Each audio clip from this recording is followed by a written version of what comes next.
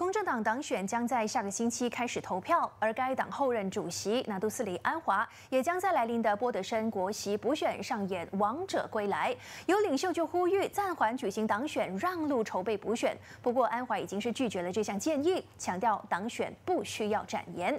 那至于外界对他上阵波德申补选提出的质疑声浪，安华强调这件事已经事先和首相敦马哈迪、西蒙领导层达成了共识，不存在争议。公正党领袖最近几个月行程满满，除了要面对党选，还要筹备波德森补选的竞选工作。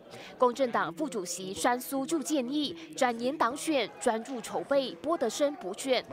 不过，该党后任主席安华强调，这两者并不会出现冲突，所以不需要转延党选。Itu tak ada masalah, tak ada.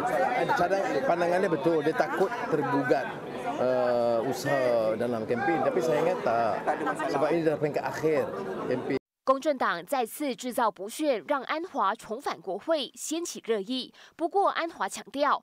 公正党事前已经获得敦马和西蒙领导层的同意，才会对外宣布这件事。安华反击批评者，他说：“既然首相已经同意，那根本不存在任何争议。”安华为重返国会蓄势待发，前文化及旅游部部长纳兹里昨天也高调表态，愿意帮安华助选。安华对此回应，欢迎各方人马的支持。波德森行动势在必行，蓝年党内暗流汹涌。公正党署理主席拿督斯里阿兹敏认为，补选仪式应该先取得党内所有领袖的共识。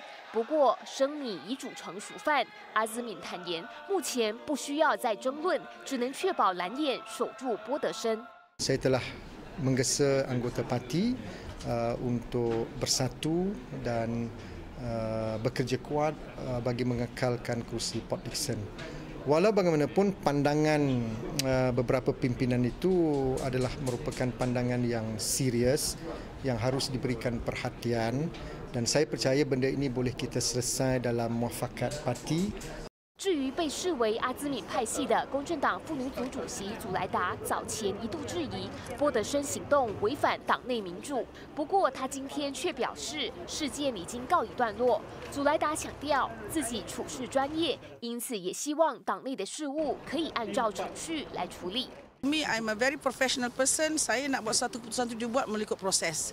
Jadi kalau proses itu tidak di sana, kan saya akan persoalkan. Tapi perkara ini sudah apa kata orang bridge under the water, uh, water under the bridge dah dah terlepas dia tak guna kita lihat dengan belakang kita move forward ke depan ya 其实，除了祖莱达，公正党副主席蔡天强早前也透露，波德森行动事前并没有经过党内的正式管道讨论。NTBC 综合报道。